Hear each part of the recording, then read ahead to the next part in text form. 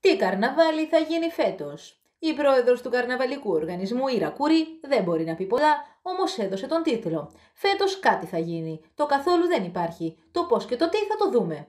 Μας θύμισε δε πως πέρυσι τέτοια εποχή είχε βγει επίσημα και είχε δηλώσει πως καρναβάλι δεν μπορεί να γίνει. Και μπορεί ο καθηγητής λοιμοξιολογίας Χαράδαμπο Γόγος να δηλώνει πως και φέτος θα είναι δύσκολα τα πράγματα και μπορεί να μην γίνει καρναβάλι, Όμως από τη στιγμή που η πολιτεία έχει χαλαρώσει τα μέτρα και μάλιστα τα κλαμπ ούτως ή άλλως γεμίζουν με εμβολιασμένους, υποτίθεται, όλα δείχνουν πως οδηγούμαστε σε ένα καρναβάλι προσαρμοσμένο στα μέτρα που ήδη εφαρμόζονται.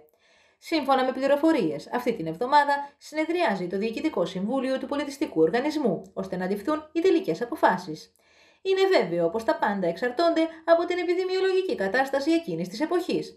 Όμως ο σχεδιασμός θα πρέπει να ξεκινήσει και θα γίνει με βάση τα σημερινά επιδημιολογικά δεδομένα και τις σημερινές αποφάσεις σε σχέση με τα μέτρα της πανδημίας. Ο Δήμος πάντως προχωρά κανονικά στον σχεδιασμό των καρναβαλικών δράσεων με βάση τα όσα έχουν ψηφιστεί από τον Ιούλιο. Νέες καρναβαλικές κατασκευές, έχει δοθεί στο καρναβαλικό συνεδρίο η παραγγελία για να προχωρήσει στο στολισμό της πόλης που ανεξάρτητα από τις επιδημιολογικές συνθήκες είναι δεδομένος. Έχουν δε ήδη ψηφιστεί τα νέα άρματα, αλλά και η κατασκευή νέων μπαστάκων που θα τοποθετηθούν στην πόλη. Στο μεταξύ, αρκετοί καρναβαλιστές έχουν θέσει από πέρυσι μια πρόταση υπόψη του καρναβαλικού οργανισμού.